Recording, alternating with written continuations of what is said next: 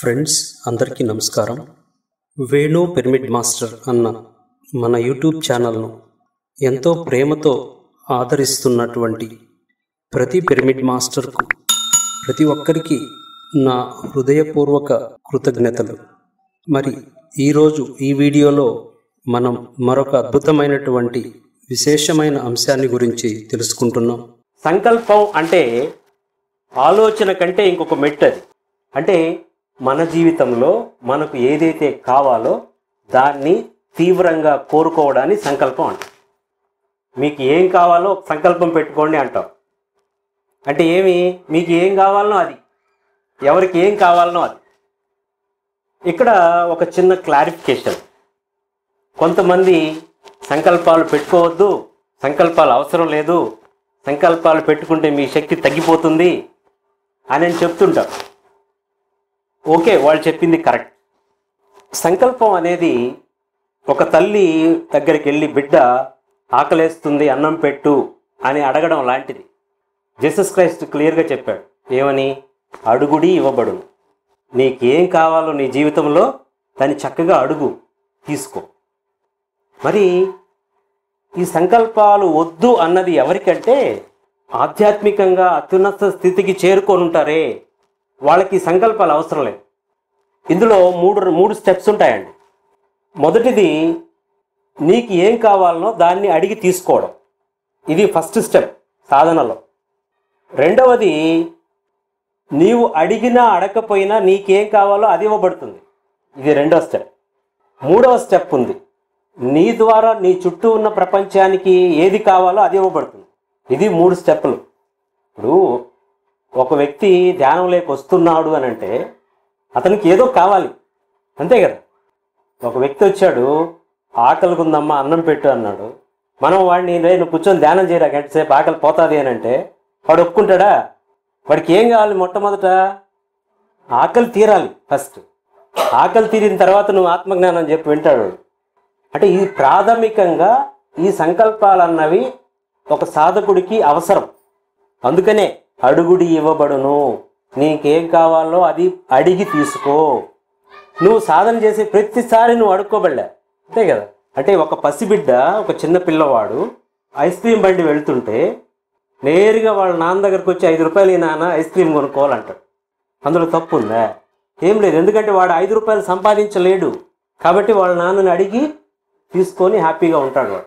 అదే పిల్లవాడు చక్కగా చదువుకున్నాడు ఉద్యోగం చేస్తున్నాడు. అప్పుడు వాళ్ళ నాన్నని అడుగుతాడా? వాడికి ఏం కావాలో చక్కగా వాడు కొనుక్కుంటాడు. అది ఒక స్టేజ్.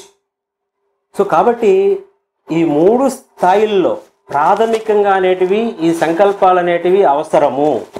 మీకున్నటువంటి ఏవైతే అవసరాలు ఉన్నాయో వాటిని తీర్చుకోవాలి. అనారోగ్యంతో వచ్చావు. ఆ అనారోగ్యం నయమైతే కానీ నువ్వు ఆత్మజ్ఞానం వైపు ప్రయాణించవు. వాడికి అర్థం కాదు. నువ్వు ఆత్మజ్ఞానం అయ్యే తీరాలి అనే సంకల్పం పెట్టుకొని కూర్చోరా అనారోగ్యం పోతుంది అని అంటే పోతుంది. అందులో డౌట్ లేదు. అందులో డౌటే లేదు. కానీ ఆ స్థితిలో వాడు అలాంటి సంకల్పం పెట్టుకోలేడు. ఎంతసేపు నా శరీరం ఆరోగ్యంగా ఉండాలి నా కుటుంబం హ్యాపీగా ఉండాలి ఇదే చూస్తుంటాడు. ఎప్పుడైతే ఇవి వాళ్ళకి ఇచ్చేసామో ఇక ఆటోమేటిక్గా నెక్స్ట్ స్టేజ్కి వెళ్తాడు. కాబట్టి ప్రాథమికంగా మొదటి దశలో ఈ సంకల్పాలు అనేటివి పెట్టుకోండి. వాటిని సిద్ధించుకోండి. అడు తర్వాత మీరు అత్యున్నతమైనటువంటి ఆత్మజ్ఞానం కోసం చక్కగా మీకై మీరే ముందుకెళ్ళిపోతారు. ఆకలి తీరినాక ఇంకేముంది? చక్కగా నేను కూర్చొని ధ్యానం చేసుకుంటాం అంటాం. సో కాబట్టి ప్రాథమికంగా సంకల్పాలన్నవి అవసరము. అందుకనే సేత్ మాస్టర్ చెప్పింది సంకల్పం పెట్టుకోకుండా లక్ష్యాలు ఏర్పరచుకోకుండా సాధన చేయకుండా మీ జీవితంలో ఊరికే ఏదంటే అది వచ్చేదు. ఎలాంటి సంకల్పాలో అలాంటి ఫలితాలు ఉంటాయి సరి అయిన సంకల్పాలు పెట్టుకుంటే సరి అయిన ఫలితాలు. సరికాని సంకల్పాలు పెట్టుకుంటే సరికాని ఫలితాలు. సింపుల్. అంటే నీ మస్తిష్కం నుంచి మెదడు నుంచి మంచి మంచి ఆలోచనలు వస్తున్నాయి అని అంటే నీ జీవితంలో మంచి జరుగుతూ ఉంటుంది.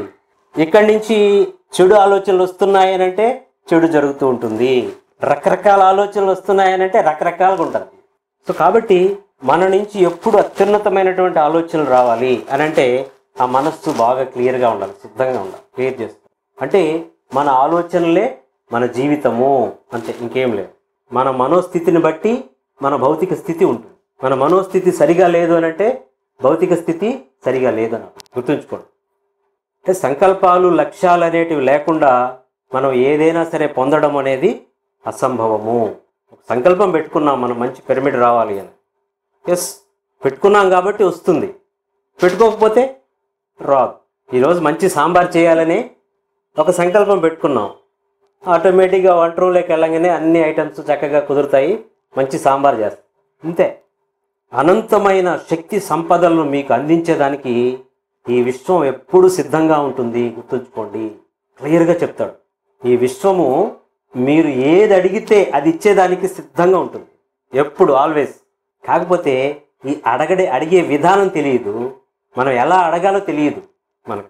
అంతరంగం నుంచి మనము ఎలా అడిగి తీసుకోవాలనే సత్యం మనకు తెలియదు. ఎలా అడగాలి అని అంటే ఒక హక్కుతో అడగాలి మనం. గుర్తుంచుకోండి. మన అంతరంగం నుంచి మనము లేదా భగవంతుడు పరమాత్మ విశ్వము ఏదైనా పేరు పెట్టుకోండి. అన్నీ ఒకటే. అక్కడి నుంచి మనం ఎలా అడగాలి? ఆయన బిడ్డలుగా మనకు ఆయన దగ్గర నుంచి పొందే హక్కు ఉంది అనేటువంటి ఆ హక్కుతో మనం అడగాలి. ఆయన దగ్గర పోయి నిలబడుకొని ఏడుస్తూ దేహి అని ప్రాధేయపడుతూ బాధపడుతూ అడుక్కోవాల్సిన అవసరం లేదు మనం లేదు. ఎందుకంటే ఆయన బిడ్డలం మనం. మన మీద ఎంతో ప్రేమ ఆయనకు ఉంటుంది ఖచ్చితంగా మనకు మనం అడిగే విధానాన్ని బట్టి చక్కగా మనకు అన్నీ ఇచ్చేస్తాడు ఆయన. ఏదైనా అడిగి తీసుకోవచ్చు. ఆయన దగ్గర లేనిది అంటూ లేదు. గుర్తుంచుకోండి. ఏం అడిగినా సరే చక్కగా మనము పొందవచ్చు. లక్ష్యము ప్రయత్నము సాధన లేకుండా మీ జీవితంలో ఏది ఊడిపడదు. మనం ఇందాక చెప్పుకున్నాం. లక్ష్యాలు ఏర్పరచుకోవాలి సంకల్పాలు పెట్టుకోవాలి సరి అయిన సాధన చేయాలి. చేస్తే చక్కటి మనకు ఫలితం అనేది వస్తుంది. నాట్ నారేసేసి నీళ్ళు పట్టకుండా ఇంట్లో పడుకొని నిద్రపోతే యాభై బస్తాలు వస్తాయా? ఎకరాకి? రావు. మంచి సంకల్పం పెట్టుకున్నావు లక్ష్యం పెట్టుకున్నావు. ఎకరాకి యాభై బస్తాలు పండించాలి అని. ఏం చేయాలి? చక్కగా రోజు దానికి వెళ్ళి చూసుకుంటూ దానికి ఎప్పుడు నీళ్ళు వేయాలో వేస్తూ ఎప్పుడు దానికి ఎరువులు వేయాలో వేస్తూ అన్నీ చేస్తూ ఉంటే ఎస్ వస్తాయి. మీ సంకల్పాలు ఎంత వాస్తవమో మీ భయాలు కూడా అంతే వాస్తవము. గుర్తుంచుకోండి. మన లోపల కొన్ని భయాలు ఉంటాయి తెలియనటువంటి భయాలు. ఈ భయాలే బయట జరుగుతూ ఉంటాయి. ఇక్కడే ఒక మేడము ఆమెకి ఒక ఆలోచన. మనం లేనప్పుడు మన ఇంట్లోకి దొంగలు పడతారేమో. అవసరమా? ఆమెకు వచ్చింది ఒక ఆలోచన వచ్చింది అలాగే ఆవిడ ఒకరోజు ఊరికి వెళ్ళింది వీళ్ళు పడ్డారు. వీళ్ళు పడ్డారు. ఎందుకు పడ్డారు? ఈవిడే కదా రమ్మనింది. గుర్తుంచుకోండి. అంటే మన లోపల కొన్ని భయాలు క్రియేట్ అవుతుంటాయి. ఏమోని అట్ట జరుగుతుందేమోని. అలా అయితే ఎట్టబ్బా? అని ఎప్పుడైతే అనుకుంటామో అలా జరుగు మనము ఎప్పుడైతే ఆత్మ పదార్థాన్ని అన్న సత్యం తెలుసుకుంటామో అప్పుడు మనం దేని గురించి భయపడాల్సిన అవసరం లేదు. క్లియర్.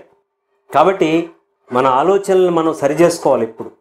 వికల్పరహిత సంకల్పము సాధనా శక్తి ఇజ్ ఈక్వల్ టు భౌతిక వాస్తవం. క్లియర్గా చెప్తారా? మీ సంకల్పం ఎలా ఉండాలి అని అంటే వికల్పరహితంగా ఉండాలి. మంచి సంకల్పం పెట్టుకున్నావు ఎస్ నేను ఈ నెలలో లక్ష రూపాయలు సంపాదించాలి ఎలాగైనా సరే. బాగుంది. మళ్ళీ అరగంట తర్వాత గంట తర్వాత మరుసటి రోజు అది నాకు కుదురుతుందే. నా వల్ల అంత సాధ్యమా? అని ఎప్పుడైతే ఈ రెండవ ఆలోచన మనకు వచ్చిందో ఆ మొదటిది పోయింది.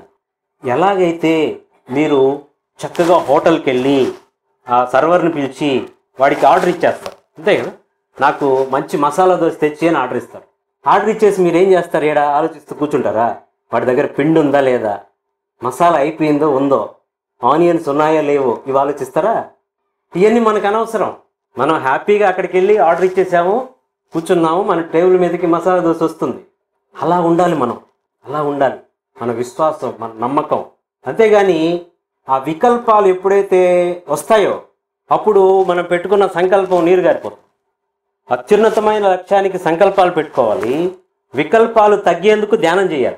గుర్తుంచుకోండి. ధ్యానం చేస్తే ఏం జరుగుతుందంటే ఈ వికల్పాలు రావు చెడపీడలు రావు. చక్కగా మనం ఆ ఎనర్జీ దానికి ఇస్తూ ఉన్నట్లయితే అది మనకు నెరవేరుతుంది మన భౌతిక వాస్తవం అవుతుంది. ఈ వికల్పాలు తొలగేందుకే ధ్యానం చేస్తాం మనం చేయాలి. ఎక్కడి నుంచి వస్తుంది? ఆ మనసు నుంచే వచ్చేది ఇవన్నీ.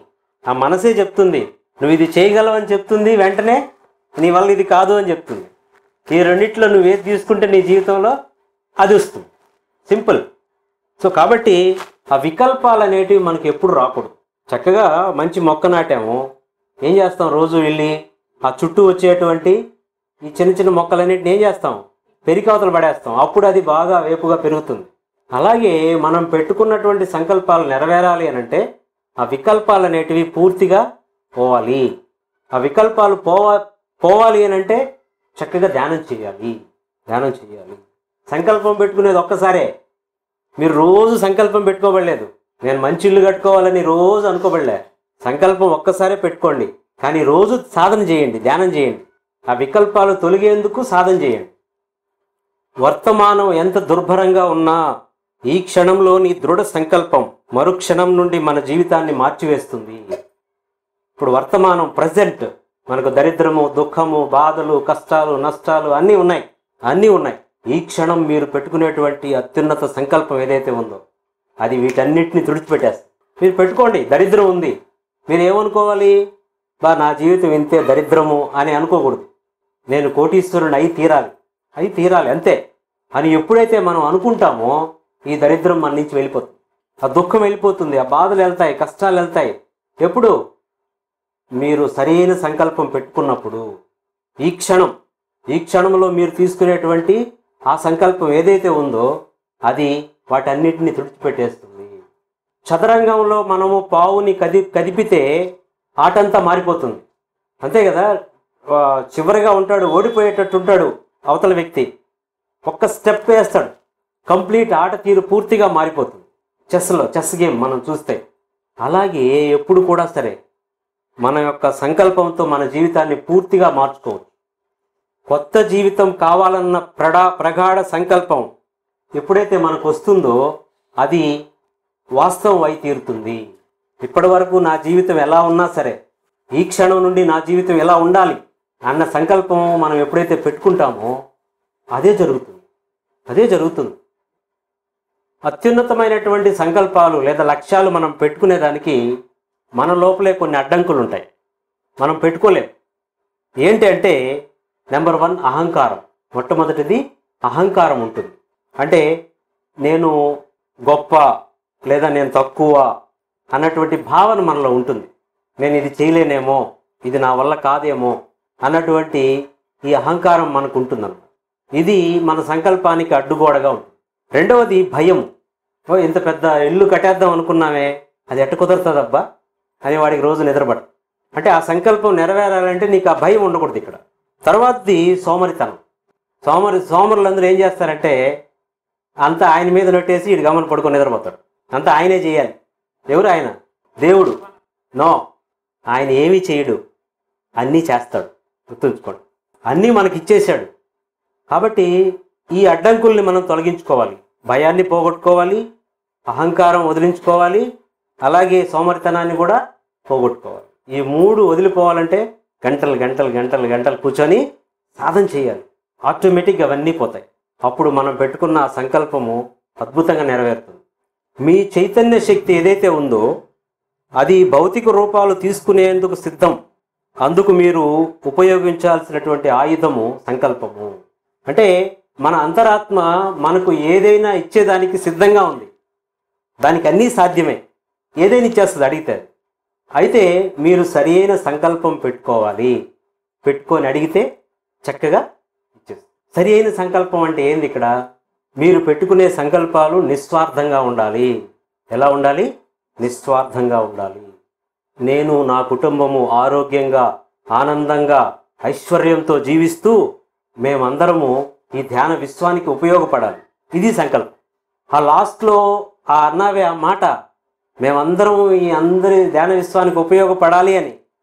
సో అది చూస్తారు. ఎస్ వీడిది మంచి సంకల్పము. వీడికి చక్కగా ఇవ్వాలి. ఒకరోజు రోజు ఒక ఆయన షాప్ తీస్తాడు పోయి బజార్ షాప్ తీసి ఆయన దేవుడికి నమస్కారం పెడుతుంటాడు. ఎట్లా అంటే ఆయన పెట్టే దండం మనం మామూలుగా ఇట్లా నమస్కారం పెడతాం. ఆయన ఏమన్నాడంటే ఇట్లా అంటున్నాడు. రెండు చేతులు ఇలా చాచి దగ్గరికి తీసి చక్కగా ఆయన దండం పెడతాం. ఈ పక్కన ఇద్దరు చూస్తున్నారు అతన్ని. బా ఎంత భక్తి ఆయనకి. దేవుణ్ణి అలా వేడుకుంటున్నాడు చూడు ఎంత బాగా దండం పెడుతున్నాడు అని ఒక ఆయన అంటాడు. ఆ పక్కన ఆయన చెప్తున్నాడు ఆ దండమా పాడ వాడు ఊళ్ళో ఉండే ఆస్తి అంతా ఊళ్ళో ఉండే వ్యాపారం అంతా వాడికే రావాలని పెడుతున్నాడు. ఈ చేతులు ఇలా చాచి? అంతా నాకే రావాలి. ఇది స్వార్థపూరితమైనటువంటి సంకల్పం. మన సంకల్పాలు ఎప్పుడు కూడా నిస్వార్థంగా నిరహంకారంగా పది మందికి ఉపయోగపడే విధంగా ఉండాలి. అప్పుడు ఆటోమేటిక్గా మన సంకల్పాలు త్వరగా నెరవేరుతాయి. త్వరగా నెరవేరుతాయి. ఓకే? Thank you